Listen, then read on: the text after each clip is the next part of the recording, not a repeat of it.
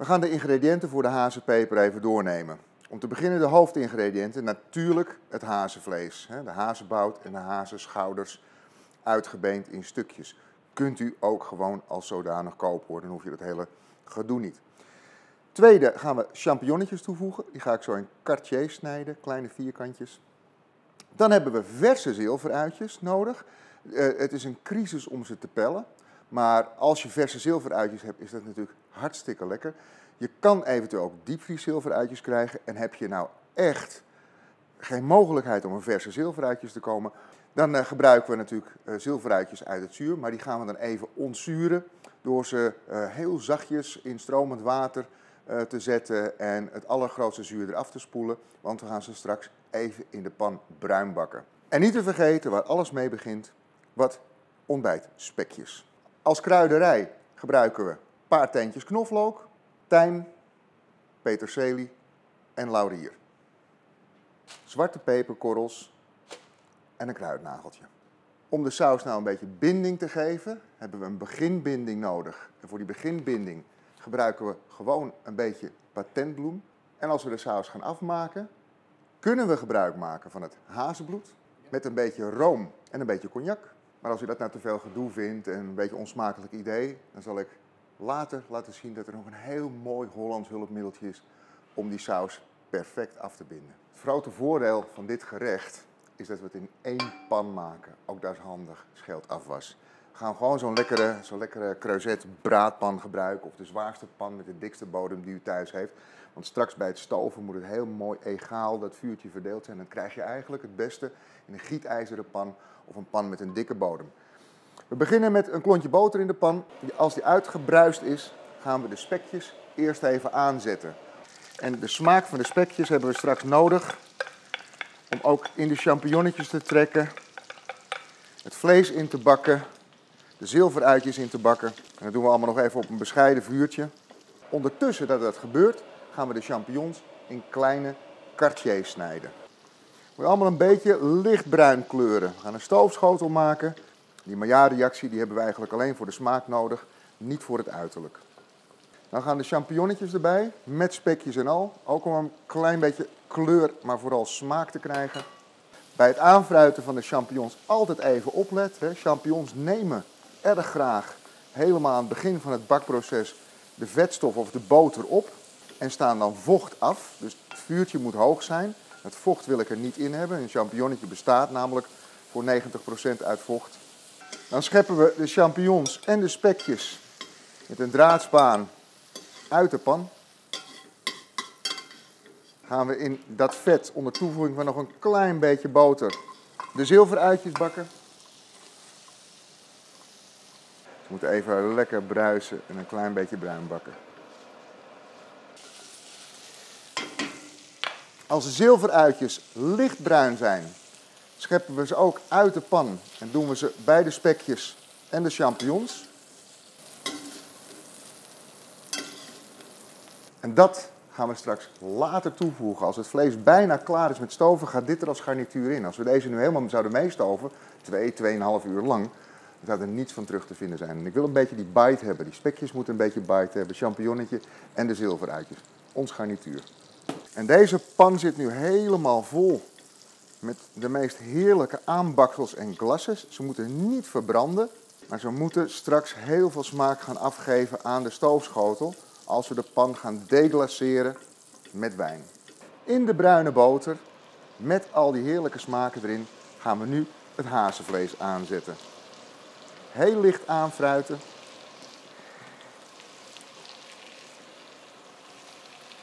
En we voegen nog geen peper of zout of wat dan ook toe. Want het wordt een stoofschotel die we achteraf perfect op smaak gaan maken. Zout en peper in dit stadium zou helemaal niets toevoegen aan het gerecht.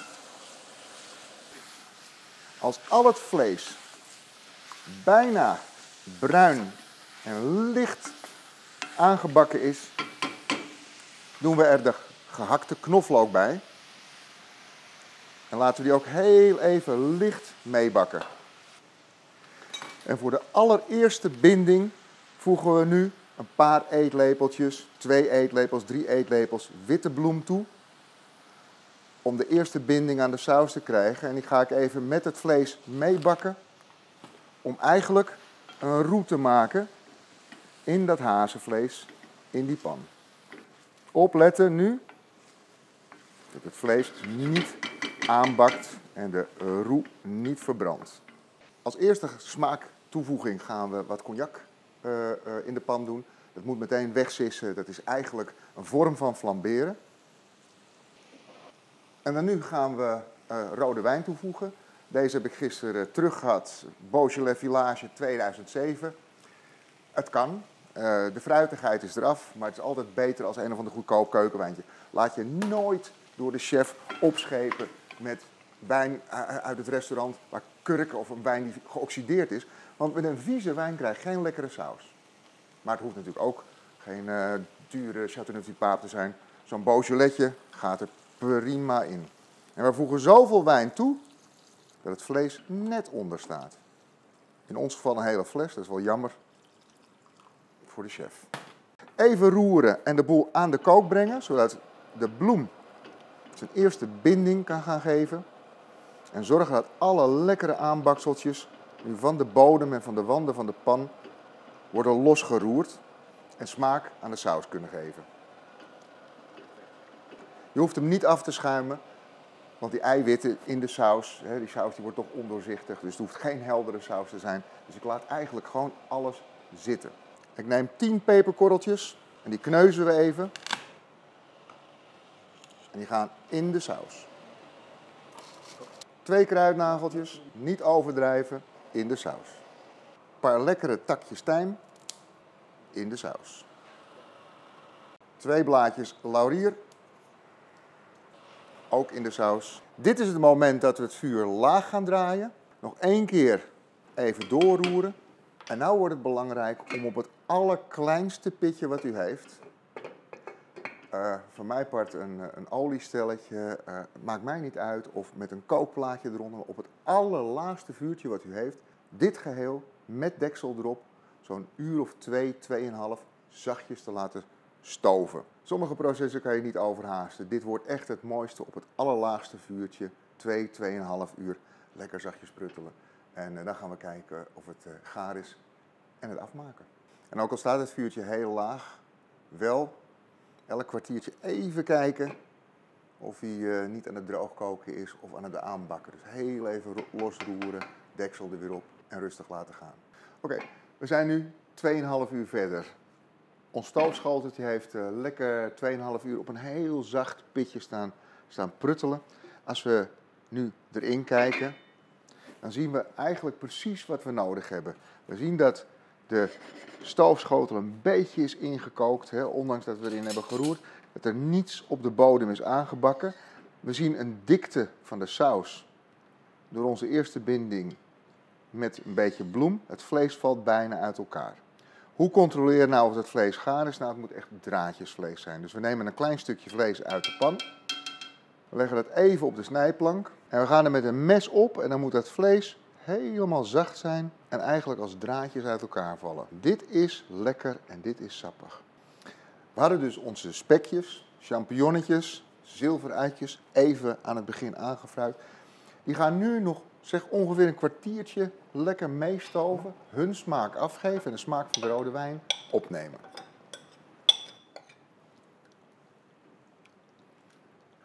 In de klassieke keuken wordt nu de civet de lièvre, hè, dus echt als civet, afgebonden.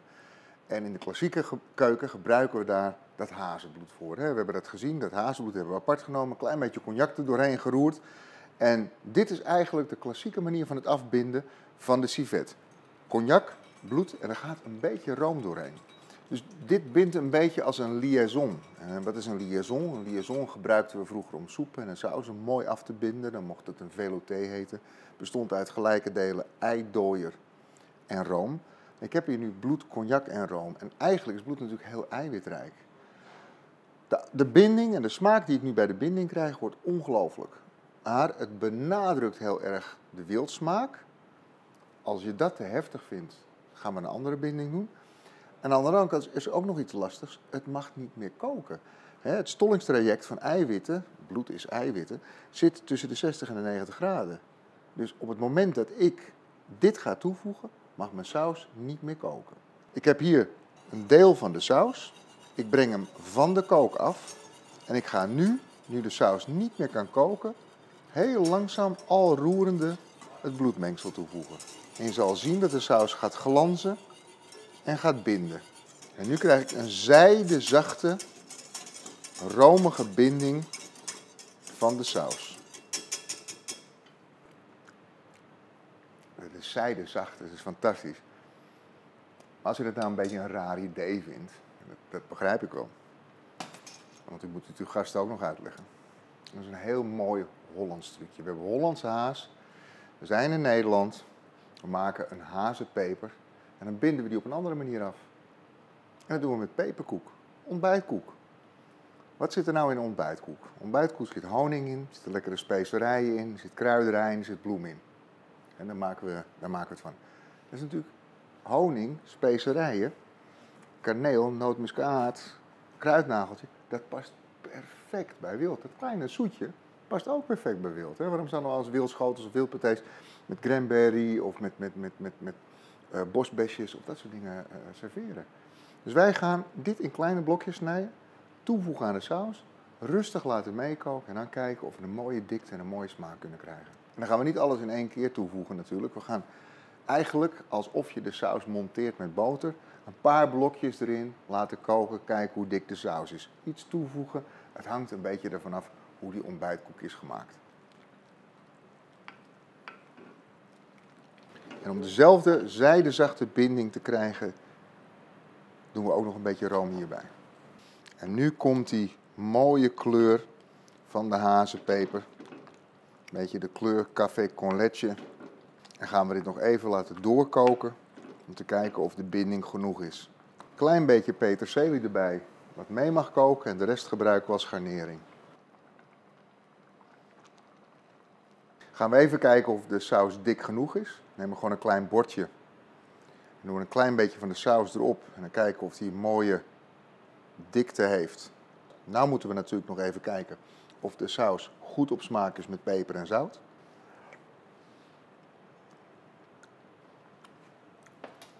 ga hem eventjes verder op smaak brengen. Want hazenpeper heet geen peper omdat er veel peper in zit, maar er mag wel een beetje pittigheid in zitten. En we gaan hem wat zout toevoegen, maar door de spekjes zit er al redelijk veel zout in. Het enige wat we nu nog moeten doen, de blaadjes laurier er even uitvissen. En even goed kijken of er nog ergens takjes tijm in zitten. Maar je ziet dat het vlees heel mooi als draadje in de schotel zit.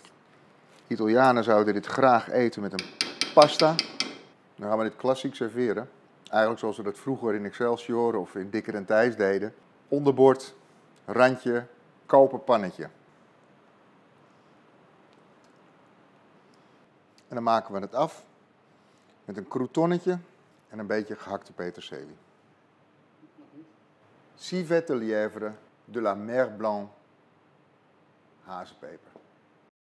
Heb je trek in nog meer smakelijke video's? Abonneer je dan op ons YouTube kanaal of schrijf je in voor onze nieuwsbrief.